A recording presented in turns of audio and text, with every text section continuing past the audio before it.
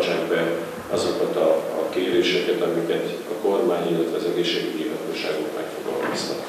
A mai alkalom, vagy a mai apropó az az alkalom, hogy átadjak egy vállalkozónak a, az adományát, hogy átadjam egy vállalkozó adományát, 2000 egyszer használatos maszkokkal támogatja ezt a választókerületet, és én kértem őt, hogy járuljon hozzá, hogy a két önkormányzat, a két városi önkormányzat kapja ezt meg, Bonyhád város önkormányzata, illetve város önkormányzata. Potápi Árpád János nemzetpolitikáért felelős államtitkár, a térség országgyűlési képviselője az átadón többek között arról is beszélt, ez az év a nemzeti összetartozás éve, de a koronavírus járvány a nemzeti szolidaritás évévé is tette. Az idei esztendő a nemzeti összetartozás éve, és amikor meghirdettük ezt az évet, meg amikor e, gyakorlatilag az első rendezvényekre az év elején sor került, akkor még nem tudtuk azt, hogy a Nemzeti Összetartozás éve és az erős magyar közösségek éve egyben a Nemzeti Szolidaritás éve is lesz.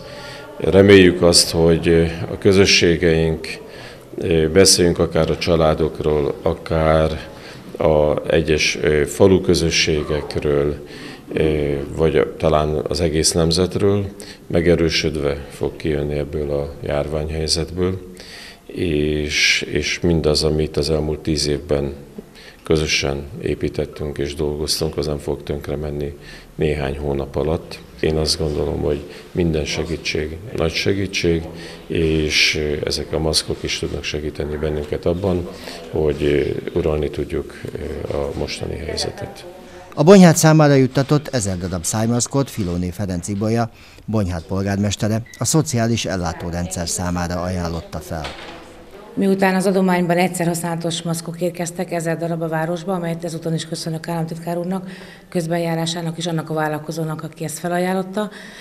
Úgy gondolom, hogy az egészségügyi dolgozók számára fogjuk elsősorban szétosztani, hiszen a gondozási központunkban, az idős otthonban a házorvosi rendelőkben, fogászaton, mindenhol az egészségügyi dolgozók használnak egyszer használatos maszkot. Szerintem náluk lesz a legjobb helyen. Talán a lakosság körében ez nem biztos, hogy annyira célszerű lenne, hiszen három óránként cserélni kellene ott a többször használatos, fertőtlenítető, mosható maszkokat biztosítottuk a 65 év feletti lakosságnak. Pintér Szilárd Dombovár első embere a közelgő érettségi lebonyolításának biztosítására használná majd fel a maszkokat. Dombváról rendhagyó módon mi azt gondolom, hogy most a fiatalokra fogunk fókuszálni, hiszen május 4-én megindul a fiatalok érettségiztetése az írásbeli. Három középiskolában tervezünk ezeket a maszkokat elosztani, annak függvényében, hogy melyik intézményben tanul egy érettségizni.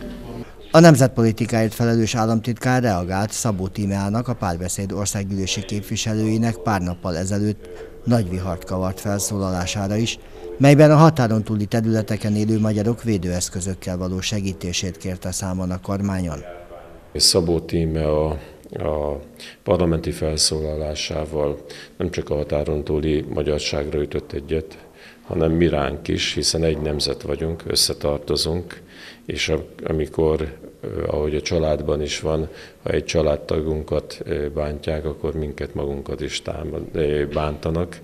Úgyhogy elfogadhatatlan, felháborító, vérlázító, a legsötétebb kommunista időkben nem voltak ilyen kirohanások. Azok az emberek nem tehetnek arról, hogy száz éve nem Magyarország területén élnek, nem ők mentek máshova, hanem az ország területe zsugorodott, a határok mentek el tőlük több száz kilométerre. És én azt gondolom, hogy egy ilyen helyzetben is, amit segíteni tudunk, azt meg kell tennünk. Szimbolikus segítségről van szó, de de a szimbolikus dolgok sokszor sokkal többet jelentenek, mint, mint akár más is. Azt remélem, mondta Potápi Árpád János, hogy a lakosság a továbbiakban is betartja a korlátozásokat annak érdekében, hogy az eddig elvégzett védekezési feladatok ne váljanak feleslegessé egy esetleges, nagyobb arányú megbetegedési hullám miatt.